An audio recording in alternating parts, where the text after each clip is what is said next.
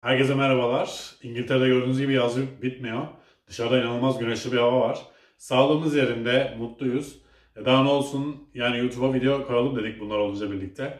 Şimdi ben geçen hafta bir tane video seyrettim. Bir deney videosu. Aslında evde denemeyin diyordu ve bazılarının gerçek olup bazılarının gerçek olmadığını söylüyordu. E şimdi ben çok merak ettim bunlardan hangisi gerçek, hangisi gerçek değil. Sonuçlarını söylemiyor. Şimdi ekranın da sağ tarafına da koyacağım.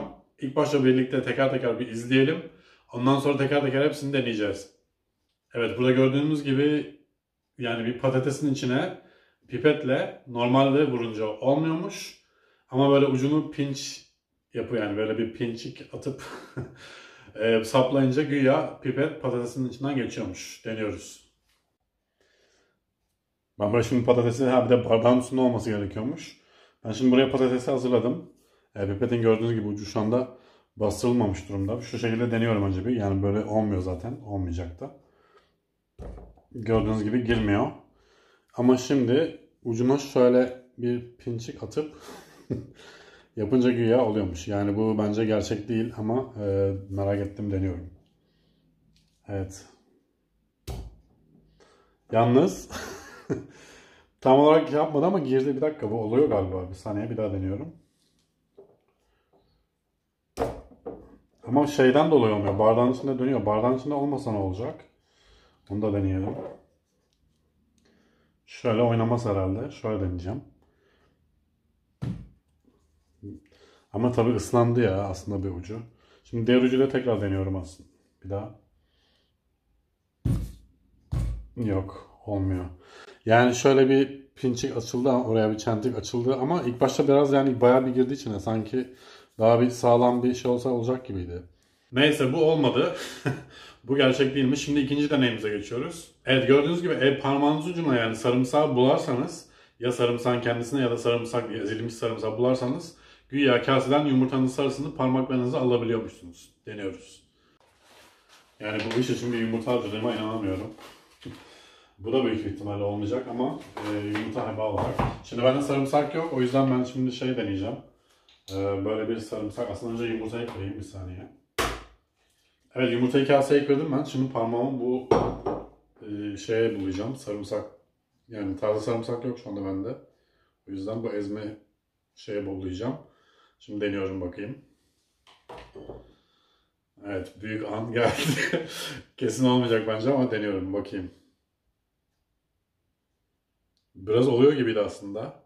Ama patladı. Şöyle oldu ama böyle zaten normalde elle ele alınmıyor. Patladı. Dur bakayım ya. Aslında şöyle sadece şey sarımsaklı olan yerlerde deneyince. Aslında bak şu kadar çıkıyor yine. Ama bu bence normalde de e, sarımsaksız da çıkar yani. bu da yanlışmış arkadaşlar. Bu da olmadı. Evet bir dahaki deneyde normalde şişeyi e, ters çevirseniz tabii ki içinde yani ağzı açık şişeyi ters çevirseniz tabii ki içindeki dökülüyor. Fakat bir e, mutfak da yani mutfak rolosu, mutfak peçetesi geçirirseniz böyle etrafından, ağzının etrafından güya ters çevirince dökülmüyormuş. E, bu asitli bir içecek olması gerekiyor. İşte kola ya da bira gibi şeylerle denemeniz gerekiyor. Ben şimdi burada malzemeleri çıkarttım. E, ben bunun da gerçek olduğuna inanmıyorum ama deniyoruz. Evet gördüğünüz gibi bir tane büyük şişe bira e, aldım ben burada. Elime kapatacağım çünkü hatta şurayı da kapatayım. Reklam reklam olmasından değil de YouTube e, birkaç kere telif falan filan diye bir şeyler söylemişti. O yüzden kapatacağım. Neyse şimdi e, ağzını açıp geliyorum ben. Şimdi ağzından geçiriyorum bu peçeteyi. Şu şekilde geçirmek gerekiyormuş. Şurada biraz bulaşım var. Onu görürseniz kusura bakmayın ev hali yapıyoruz. Şimdi güya bu şekilde mutfak peçetesi olması gerekiyormuş. Böyle geçirip sardırınca e, dökülmüyormuş deniyoruz. Bu ama hiç yani ümidim yok. Evet. Yani direkt aşağıdan e, döndüreceğim bir saniye. Şöyle şöyle yapmam gerekiyor. Bakın. Şöyle kamerayı biraz aşağı indirirsem daha iyi gözükecek galiba. E, deniyoruz. Gördüğünüz gibi e, işe yaramıyor arkadaşlar. Ulan evde yiyecek bir şey kalmadı e, malzemeleri harcamaktan. E, neyse. Bir dahaki deneyimizde güya bir e, Coca-Cola kutusu yani kutu kolayı ya da herhangi bir kutu içeceğinin bu kapağını açma kısmı kırılırsa e, yani peçeteyi böyle dörde katlayıp köşesiyle sürtünerek açabiliyormuşsunuz. E, patlıyormuş direkt kendisinden. Deniyoruz. Şimdi ben de kutu kola yok. iki tane Monster buldum e, dolapta. Bunlardan iki tanesinin şu e, pembeli olanı daha az favorim olduğu için ona heba edeceğim. Gerçi bunda heba yok çünkü e, açılmazsa da e, bir şekilde açılıp içilebilir bu yani. Deniyoruz. Şimdi önce bir kapağını bunun bir kırmam gerekiyor. Evet gördüğünüz gibi ben bunun kapağını kırdım. E, şu anda e, açık değil. Peçeteyle deniyorum. Şimdi peçeteyi şu şekilde dörde katlıyoruz. Şöyle aslında 8'e yani tam katladıktan sonra şu uç kısmını şu uç kısmını şu e, kesik yerlere sürterek güya açıyormuşuz. Ne kadar e, sürtmek gerektiğini söylemedi. E, deniyoruz.